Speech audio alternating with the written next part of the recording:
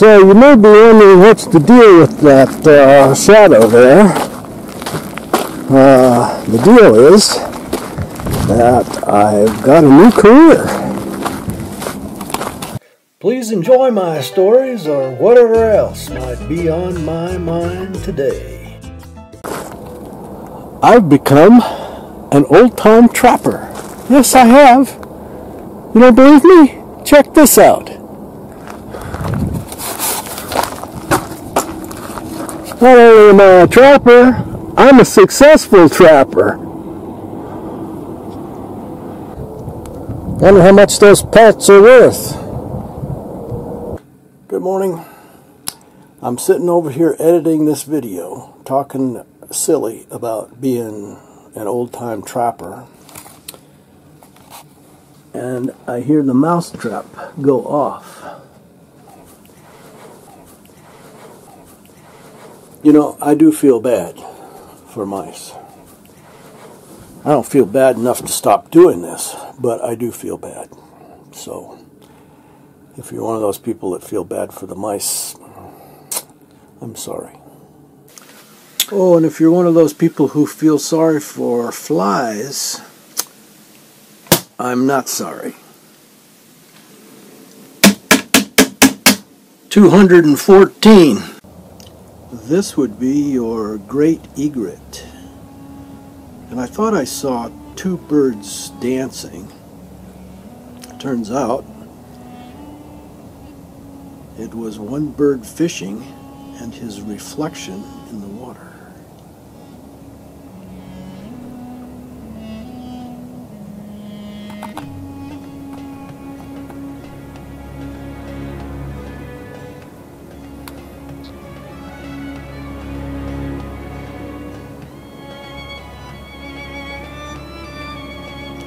Rippling on his neck is a reflection off the waves.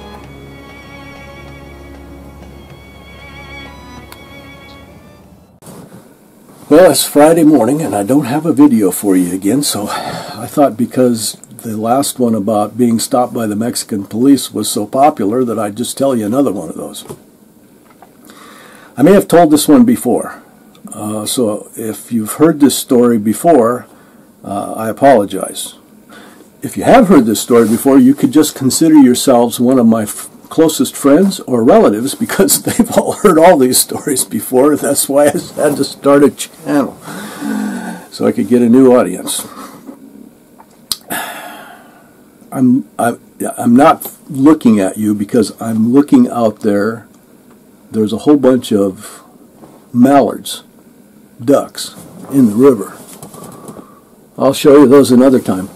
Um, my friend and I are driving his uh, GMC four-wheel drive Yukon SUV, and we're driving it in the lake, out in the water. We're seeing how far out in the water we can go, um, and the Lake Chapala is rather shallow, quite a ways out. So we're out there quite a ways, and the water is up above the hubs, and we're making a wake and we're driving along the shore from my house towards uh, what is the pier in Ajijic.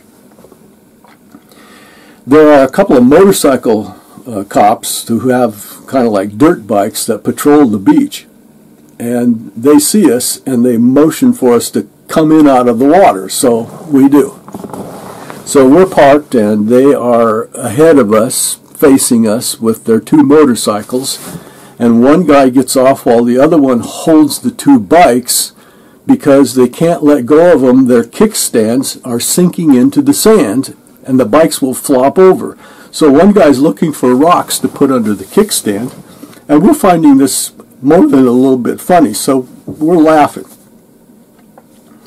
They get the rocks and they get the bikes secured so they're not flopping over in the sand and they come and they get us out of the car. And the first thing that happens is that one of the officers grabs my friend's hand like this and he smells it thinking two guys who are giggling so much must certainly be high on marijuana which was not the case.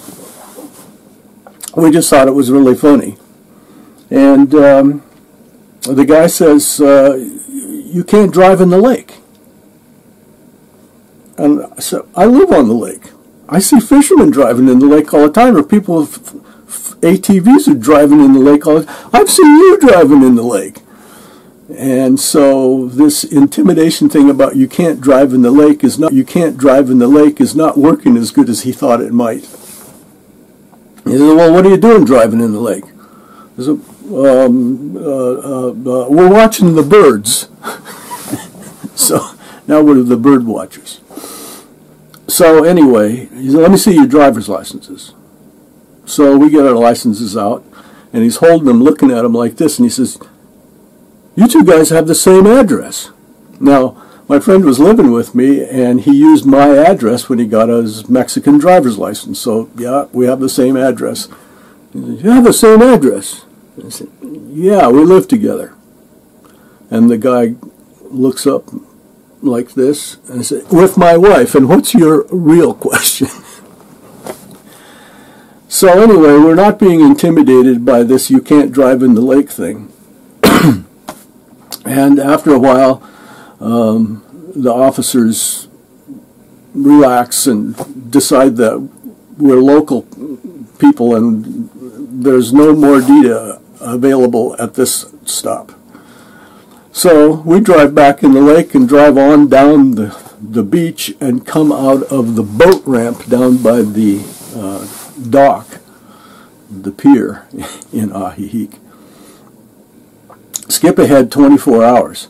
I have volunteered to drive a golf cart to ferry people from a remote parking place for an art show that's going on up the street from me. And uh, it's probably, oh, seven or eight blocks from the art show to the remote parking lot, and it's along the highway. But along the highway is a special place for bicycles called the cyclopista, and it's separated from the highway by a, a concrete barrier. So it's a little asphalt path off the side of the highway. But you're not supposed to go on there with a motorized vehicle, like a motorcycle or a golf cart. But I'm not going on the highway with the golf cart.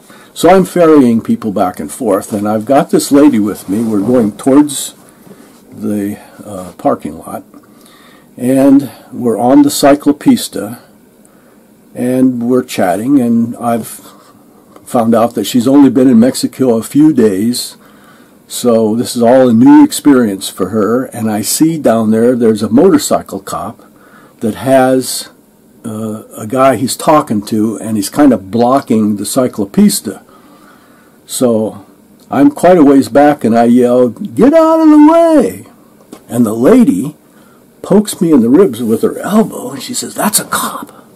I say, Yeah, I know. Get out of the way. And we get up to the cop, and the cop says to me, He says, You don't say, Get out of the way. You say, Excuse me, please. Or maybe you say, Con permiso.